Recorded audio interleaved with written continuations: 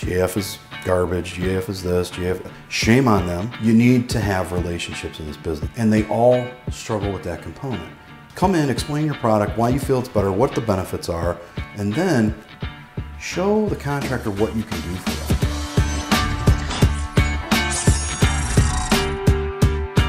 Uh, I was so impressed with the wall by all the GAF certifications. Yeah. How often do you do that? Like, do they come here? How does it all Um, It work? depends. So this year we had them come here. Um, sometimes we test in house and you know send it off.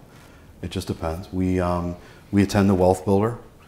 Uh, we sit on the Contractor Advisory Council for the Midwest. So we were in um, Chicago back in November with a bunch of roofers from the Midwest um, and expressed our concerns about things. And GAF listened, or so I thought.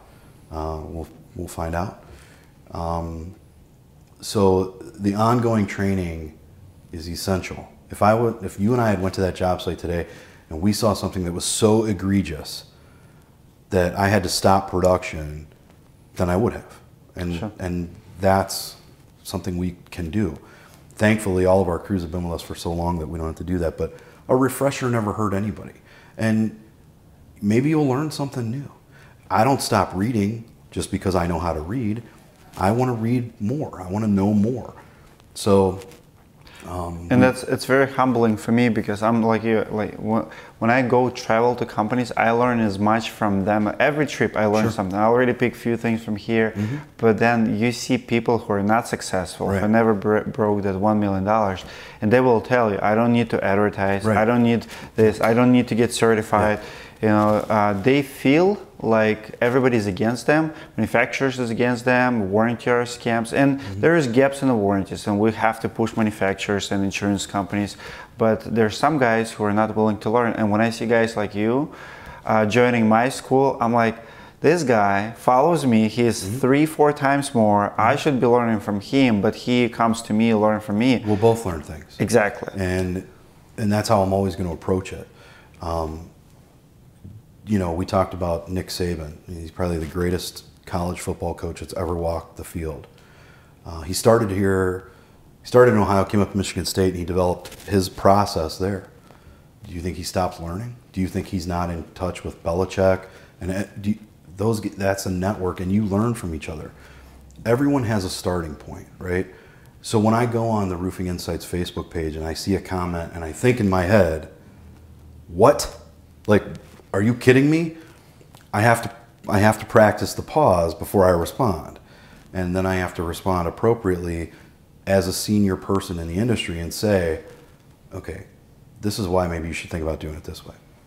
And then there's guy. I this happened yesterday. I posted an answer to somebody. Somebody posted about something. I said, "Why aren't you doing this?"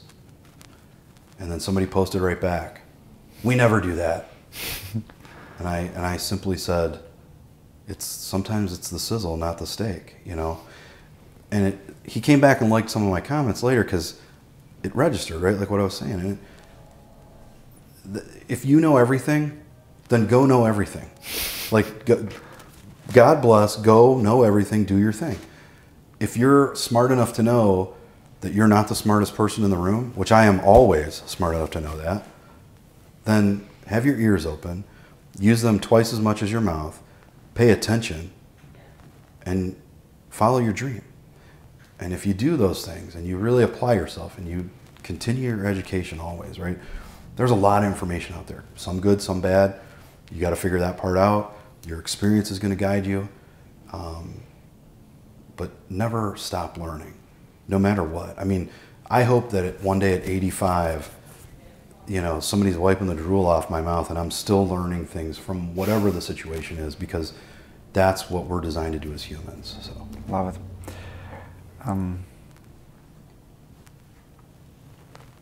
do you do you agree that you are a commodity business?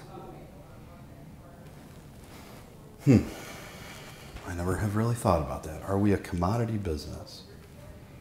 Mm, we are a service business.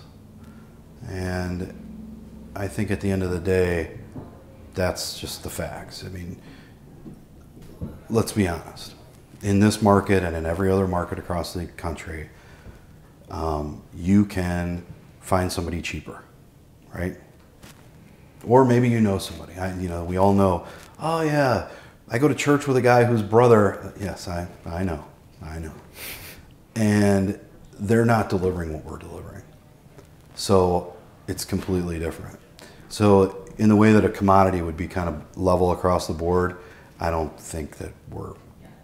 I think we are a we are a service industry, like any other service industry. We are just delivering a different product. That's all. How about shingles? Let's talk about shingles. Yeah. Is, is shingle a commodity business? And percentage wise, Mm-hmm. uh, how many percent of success goes to product? Is it Zero. 80%? Is it zero? It doesn't Zero. matter. So they are a commodity business. We are not. Uh, they would probably tell you Because, because would- no, I know, but why, why they're a zero and we're not? well, for me, Sure, for you. in my opinion, sure. how many manufacturers, major manufacturers in the marketplace right now? Seven, eight. I mean, dep- well, actually nine, but major probably seven, eight. That covers most Because of the there's some new guys that are smaller or whatever. right? Yeah. So there's seven or eight. And if we took those seven or eight and we talked, there's three big ones, right? We, Mm-hmm. we both know who they are. Yeah. GAF, Certainteed, Owens Corning. Well, number four, Atlas is number four, and I would say Atlas is one of the fastest growing. I don't disagree for whatever reason. Yeah.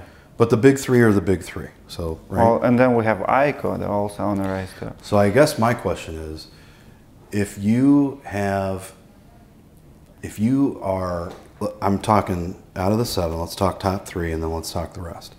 There's movers down there. I'm not saying there's not, and I'm not saying there aren't good products down there because there are. The top three better be awake, right? Are they a commodity? Yeah, because you cannot continue to do the same thing and just continue for it to go. You better adapt, you better overcome, you better innovate, right? We've seen changes in dimensional shingles. We've seen the SureNail strip with OC. We've seen HDZ with the uh, what they call mechanical fastener or mechanical bonding, you know, whatever, and the elimination of the granules in the nail or in the nail zone. And then um, Certainteed is the heavy hitter all the time, right? It's weight, weight, weight. So, how long till that's not good enough anymore? How long until Atlas just delivers a product that is just as good and you know is right there with everybody else? I think they're probably close, if not there. Malarkey, I'm not 100% sure on. I've heard some things in the market, some grumblings, things like that. And they all have um, issues. I mean, They all have issues. And that's the thing. The issue, so the reason we're not a commodity is because I can change that interchangeable piece at any given moment. If I decided tomorrow that we were going to sell Malarkey, that's what we would sell. If we decided as a company that tomorrow we were going to go strictly Owens Corning, that's what we would do. And as long as I was to, able to deliver a complete roof system that was quality, installed properly, everything done by the book, provide the warranty, sustain the company, then it doesn't matter. It's all those components I control, they control manufacturing. And at the end of the day, it's oil, fiberglass, and some rocks. Okay. Uh, let me ask you this question Mm-hmm. then. What makes uh, good manufacturer good manufacturer? You like relationships, uh, like we discussed TAMKO earlier as Mm-hmm. you know not being a good leader, drop everything right away. So if they're a commodity business and shingle itself is a zero attribution to success, uh, what makes you, you know, with the JF, invest in JF and all the training? What what makes JF stand aside? For us, Yes, relationship.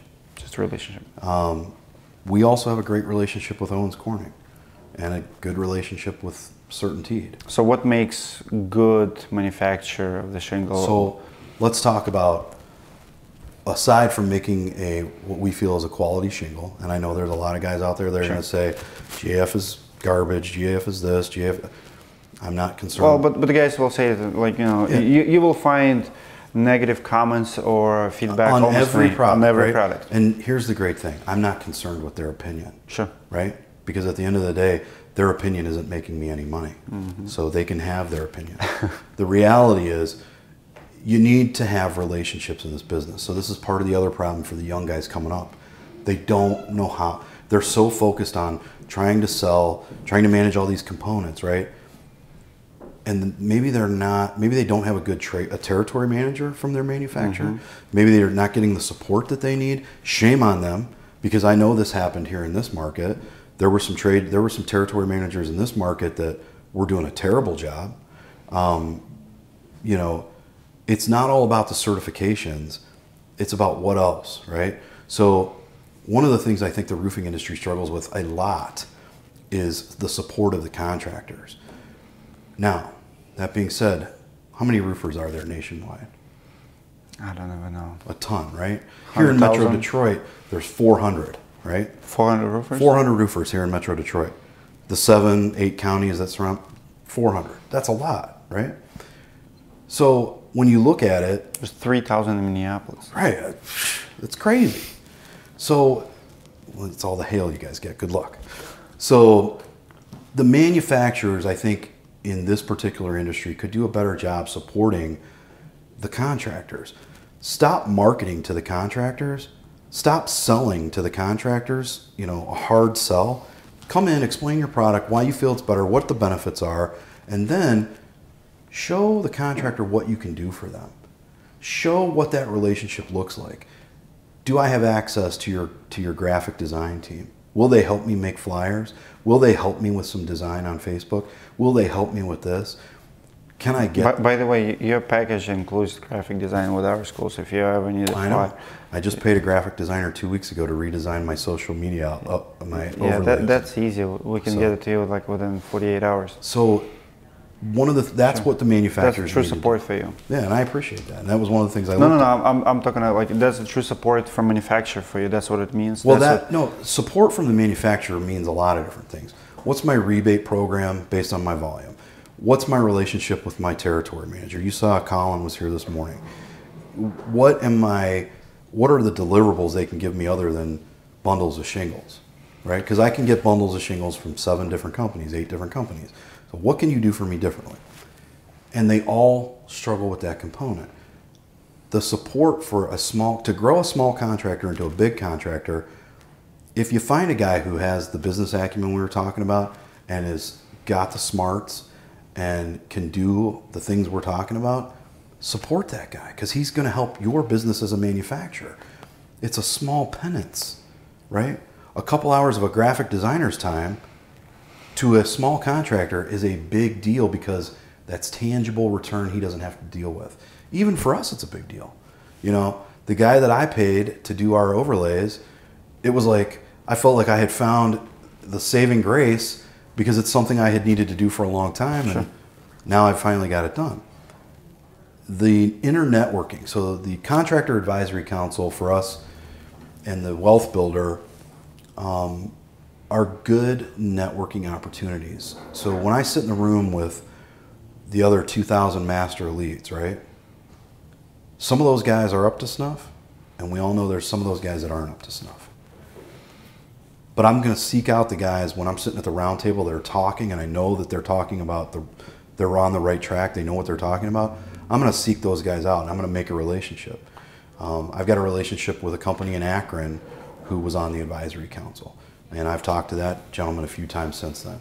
Um, I've got a relationship with a company in Minneapolis. I've talked to that guy because I, I struggle to talk to the guy that's down the street here because it's just you know it doesn't work. You're competing.